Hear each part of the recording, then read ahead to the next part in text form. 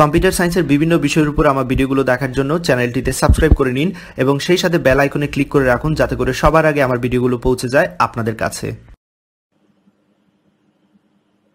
আপনাদের সবাইকে স্বাগতম জানাচ্ছি। খুবই গুরুত্বপূর্ণ এই ভিডিও টিউটোরিয়ালে এই ভিডিওটিতে আমি আলোচনা করব স্ট্রিং সম্পর্কে। ইতিমধ্যেই আপনারা আমার পূর্ববর্তী লেকচার ভিডিওগুলো থেকে স্ট্রিং সম্পর্কে খানিকটা ধারণা লাভ করেছেন। এবার বিস্তারিত জানা পালা। প্রথমে যে কোয়েশ্চেন দিয়ে শুরু করব, সেটি হচ্ছে স্ট্রিং কি?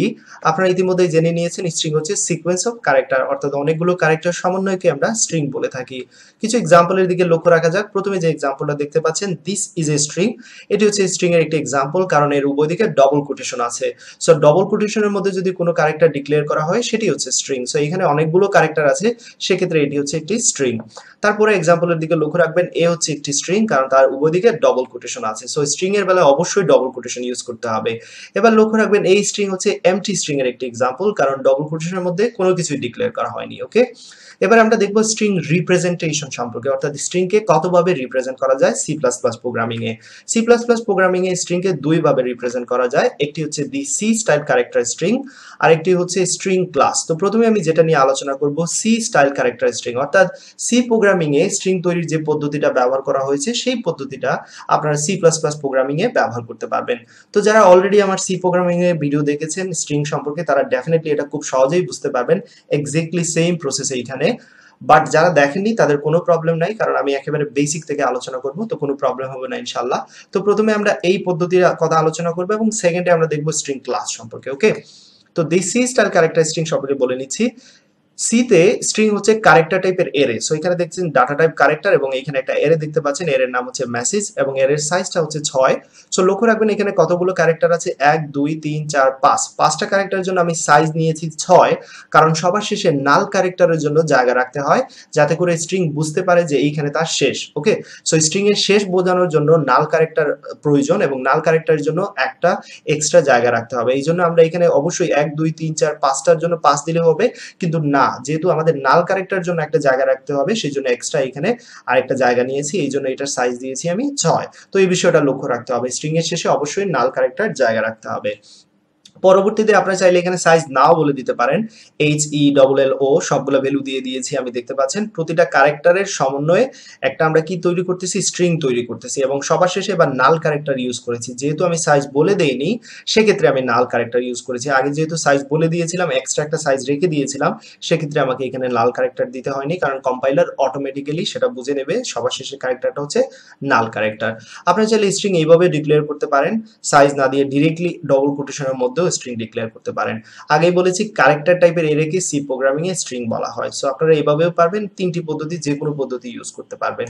তো সরাসরি কোড ব্লকসে নিয়ে যাচ্ছি, জিনিসগুলো আমি প্র্যাকটিক্যালি দেখাতে যাচ্ছি প্রথমে একটা প্রজেক্ট তৈরি করে নেব নিউ প্রজেক্ট প্রজেক্টে কনসোল অ্যাপ্লিকেশন সিলেক্ট করে গো অনেকবারই আপনারা করেছেন সো এটা জানার কথা।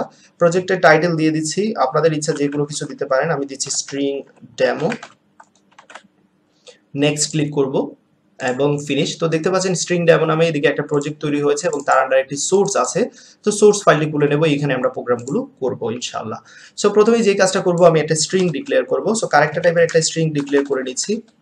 কারেক্টার টাইপের এর এর নামই হচ্ছে স্ট্রিং সো মেসেজ এবং তার সাইজ দিয়ে দিচ্ছি ছয়। এবং যেমনটা আমি দেখিয়েছিলাম আপনাদের একটু আগে সাপোজ এইখানে আমি চাচ্ছি ক্যারেক্টার টাইপের যেহেতু এরে অবশ্যই সেকেন্ড প্যাকেট ইউজ করতে হবে এবং তার মধ্যে অনেকগুলো ক্যারেক্টার সমন্বয়ে স্ট্রিং তৈরি হবে ওকে সো অনেকগুলো ক্যারেক্টার দেবো জাস্ট আগে আমি সিঙ্গেল কোটেশন দিয়ে দিচ্ছি। ক্যারেক্টার অবশ্যই সিঙ্গেল কোটেশনের মধ্যে লিখতে হয়, সেটা মনে রাখবেন আপনারা। So H E L perfect এবং এখানে এল দিয়ে দিচ্ছি এবং সবার শেষে আমি ও দিচ্ছি। সো লক্ষ্য রাখবেন, আমি এক, দুই, তিন, চার, পাঁচটা ক্যারেক্টার ইউজ করেছি সেই জন্য একটা সাইজ বেশি রাখতে হবে মনে রাখবেন সবসময় এটা। ওকে সো এবার আমরা চাইলে এটা প্রিন্ট দিয়ে দিতে পারি আমাদের স্ট্রিংটা জাস্ট মেসেজ লিখে দিলেই হবে। সো আমরা রান করে দেখি। পারফেক্টলি কাজ করতেছে রাইট সো এবার যে কাজটা করতে পারেন, আপনারা চাইলে নির্দিষ্ট কোনো ইন্ডেক্সের ভ্যালু প্রিন্ট করতে পারেন। আপনারা জানেন যে এটা হচ্ছে জিরো ইন্ডেক্স তারপর ওয়ান টু থ্রি ফোর আপনারা যদি চান যে ইন্ডেক্স থ্রিতে কি আছে বা ইন্ডেক্স টুতে কি আছে সেটা দেখতে চাচ্ছি, অথবা ইন্ডেক্স ওয়ানে কি আছে সেটা দেখতে চাচ্ছি, তাহলে এরকম ইন্ডেক্স দিয়ে দিতে পারেন। তো জিরো ইন্ডেক্সে এইচ আছে এবং ওয়ান ইন্ডেক্সে ই আছে, সেক্ষেত্রে এখানে প্রিন্ট করবে ই এবং এক্স্যাক্টলি দেখতে পাচ্ছেন এখানে ই প্রিন্ট করে দেখাচ্ছে। সো আশা করি এইভাবে কীভাবে স্ট্রিং ডিক্লেয়ার করতে সেটা আপনারা জানেন। সো এখানে চাইলে এক্সট্রা আপনারা এরকমও করতে পারেন সাইজ না দিয়েও দিতে পারেন। বাট সেই ক্ষেত্রে কিন্তু আপনাকে যেটা করতে হবে, অবশ্যই নাল ক্যারেক্টারটা দিয়ে দিতে হবে। সো নাল ক্যারেক্টারটা সিঙ্গেল কোটেশনের মধ্যে অবশ্যই ইউজ করতে হবে। নাল ক্যারেক্টারের জন্য এখানে জিরো ইউজ করবেন, লক্ষ্য রাখবেন। এবার যদি কোডটা রান করি পারফেক্টলি কাজ করবে ওই যে, আমরা যেমনটা বলেছি, এক নাম্বার ইন্ডেক্সে ভ্যালুটা প্রিন্ট করবে, সেটাই করতেছে। চাইলে পুরো স্ট্রিংটা আমরা প্রিন্ট করতে পারি জাস্ট ভেরিয়েবলের নামটা দিয়ে দিলে হবে। পারফেক্টলি প্রিন্ট করতেছে। রাইট এবার যে কাজটা করতে পারি, আমরা চাইলে ডিরেক্টলিও আমরা স্ট্রিংটা ডিক্লেয়ার করে দিতে পারি ডবল কোটেশনের মধ্যে সেটাও পারি। সো সাপোজ আমি আমার নামটা দিয়ে দিচ্ছি এখানে। আনিসুল ইসলাম এটা কার মধ্যে রাখতেছি মেসেজের মধ্যে এবং সেই মেসেজটা আমরা প্রিন্ট করে দিচ্ছি। এবং পারফেক্টলি দেখতে পাচ্ছেন এটা কাজ করতেছে। তো আশা করি স্ট্রিং কীভাবে তৈরি করতে ডিক্লেয়ার করতে সে সম্পর্কে আপনার পূর্ণাঙ্গ ধারণা লাভ করেছেন। পরবর্তী ভিডিও টিউটোরিয়ালে আমি আপনাদের স্ট্রিং রিলেটেড অনেকগুলো ফাংশনের ব্যবহার দেখাবো, যেগুলো অলরেডি তৈরি করা আছে এবং সেইগুলো ব্যবহার করব আমরা, সেই ফাংশনগুলো সাহায্য নেব এবং ছোটখাটো কিছু জিনিস আমরা সেইখানে দেখব। তো এই ভিডিও টিউটোরিয়ালে এতটুকু থাকবে স্ট্রিং কীভাবে ইউজ করতে সেটা আপনারা জানেন। তো যাওয়ার আগে আরেকটা কাজ আমি করে দিতে চাই আপনাদের, কীভাবে ইনপুট নিতে হয় সেটা দেখিয়ে দিতে চাই। অলরেডি আমি দেখিয়ে দিয়েছি কীভাবে স্ট্রিং ইনপুট নিতে হয়। তারপরও যাওয়ার আগে আরেকবার দেখিয়ে দিচ্ছি। এর নামটা আমি একটু চেঞ্জ করে দিচ্ছি নেম দিয়ে দিচ্ছি। সাপোজ এখানে এর সাইজ দিয়ে দিচ্ছি থার্টি এবার যে কাজটা করব, প্রথমে আমি নাম ইনপুট নেব। তো ইউজারকে বলে দিচ্ছি যে সি আউটের মধ্যে যে enter your name enter your name নাম দেওয়ার জন্য।